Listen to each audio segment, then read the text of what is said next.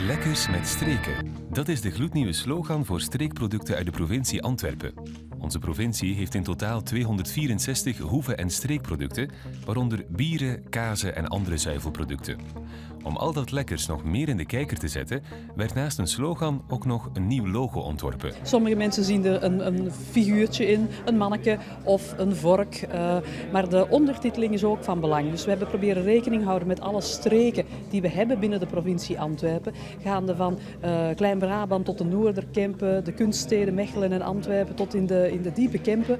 Uh, en daarnaast, ja, daar kan je niet omheen, provincie Antwerpen ook een beetje een provincie met streken. Binnenkort verschijnt het logo op alle Antwerpse hoeve- en streekproducten. Het zal ook te zien zijn bij horecazaken die werken met de artisanale producten. De provincie heeft een besluit genomen over de weekendverblijven in Essen, Wustwezel en Herselt.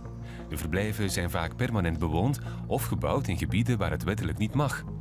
In Herselt moeten twee zonevreemde clusters opnieuw bouwvrij agrarisch gebied worden.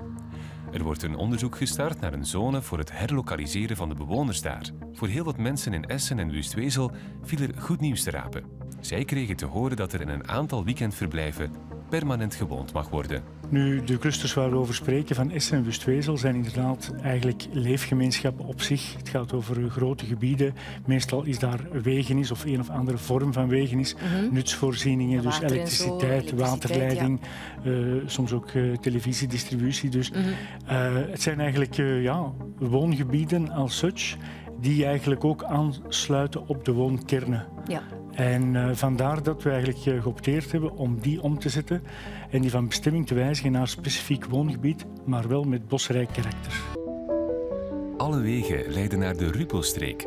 Het centrum van de kleiontginning voor de befaamde Rode Baksteen biedt al veel jaren ruimte voor toerisme en recreatie.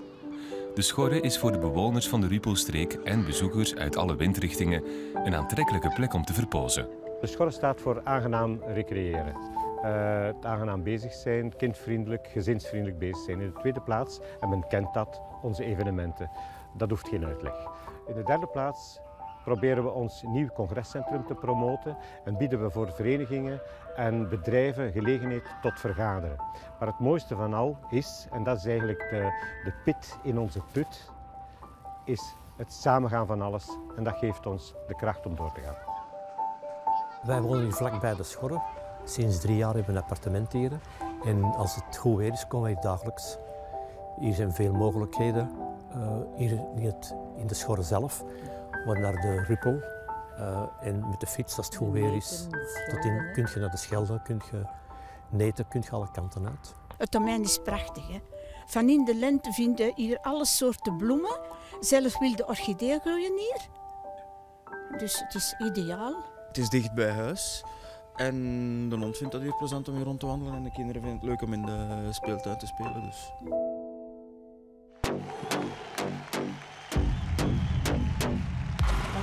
Een massa bezoekers leren domein De Schorre kennen dankzij het megasucces van het dance-event Tomorrowland. Maar ook op andere momenten is dit een plek waar veel te beleven valt. Het Antwerpse provinciebestuur gaat het recreatieaanbod nog verruimen. Naast de Schorre ligt nog 250 hectare aan landbouw- en natuurgebied en kleiputten. Een mooie kans om recreatie en toerisme verder te ontwikkelen, met natuur als stevige basis.